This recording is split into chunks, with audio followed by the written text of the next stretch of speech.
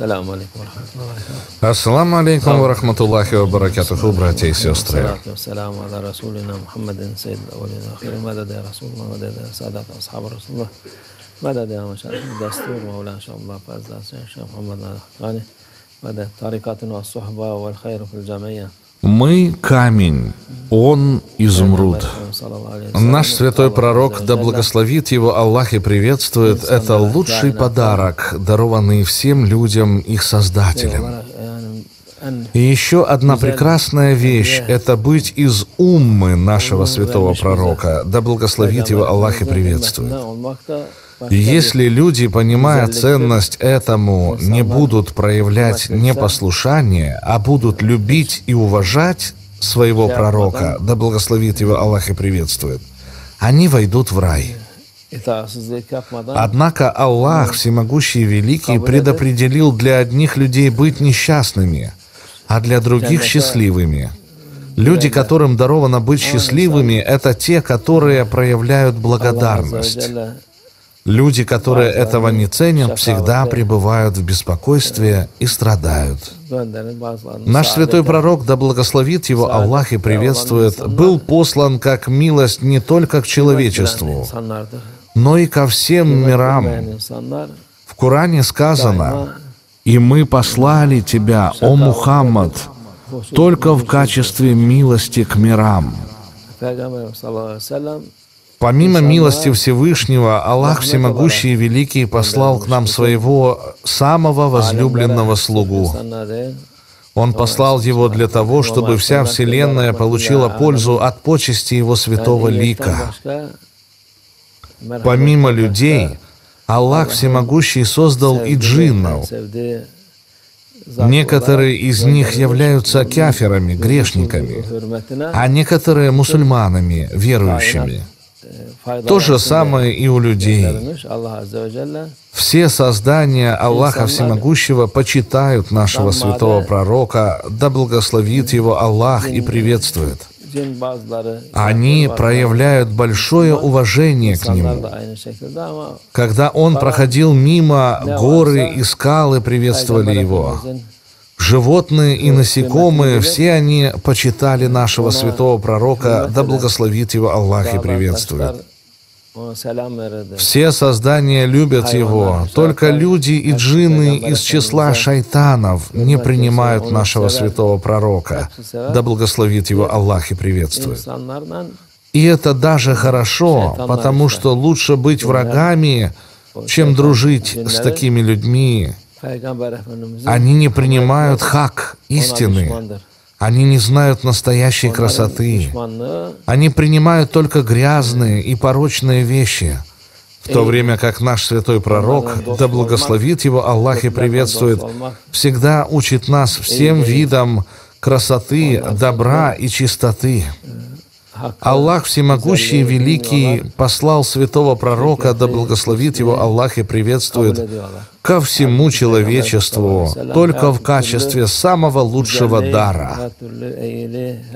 Он обладает красивой внешностью и самым прекрасным нравом.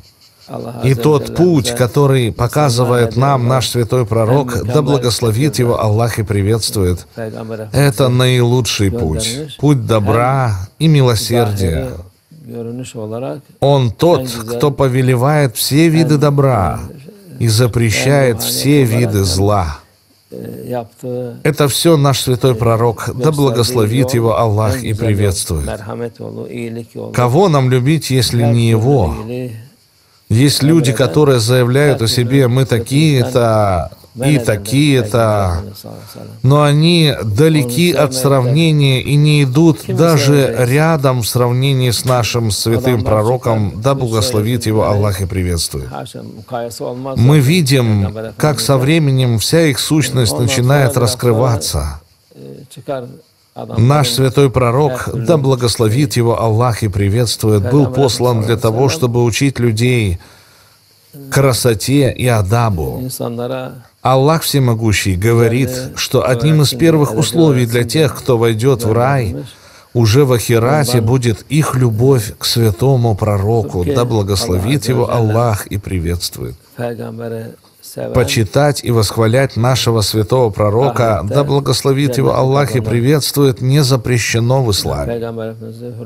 Как мы уже говорили, шайтаны из числа людей и джиннов обманывают людей. Они говорят, вы любите и возвеличиваете своего пророка, да благословит его Аллах и приветствует, тем самым вы предаете Аллаху сотоварища, вы совершаете грех, ширк.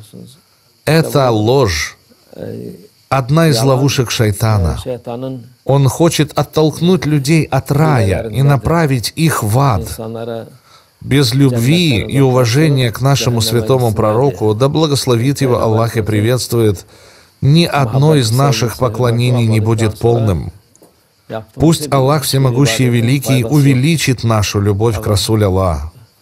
Эта любовь должна быть превыше всего. Она должна быть прежде всего направлена к нашему святому пророку и никому другому тогда как любовь к вашей матери, вашему отцу, вашим детям, к вам самим, к вашему боссу и к кому бы там ни было еще должна стоять после этой любви. Люди же прежде всего любят себя, а потом уже то или иное в зависимости от своего интереса. Но согласно адабу ислама, вы должны прежде всего полюбить нашего святого пророка, да благословит его Аллах и приветствует, а потом уже себя. Наш святой пророк, да благословит его Аллах и приветствует, говорит, что мы должны любить его даже больше, чем своих родителей, больше, чем себя, потому что он тот, кто больше всего заслуживает любви. Сам же святой пророк не нуждается ни в чьей любви. Он говорит нам делать это для нашего же блага, для нашего спасения.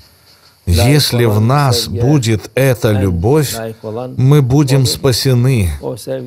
Для чего же нашему святому пророку, да благословит его Аллах и приветствует, нужно, чтобы мы любили его?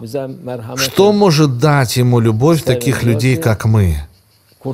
Только из милосердия к нам, чтобы был аргумент сказать в присутствии Аллаха, «О Господь, эти люди любят меня больше, чем себя самих». Прости же их и веди их в рай. Все это наш святой пророк, да благословит его Аллах и приветствует, приказывает делать только исключительно для нашего же блага. Вамин Аллахи ат Тауфик Аль-Фатиха. emretmiş Peygamberimiz sallallahu aleyhi ve sellem.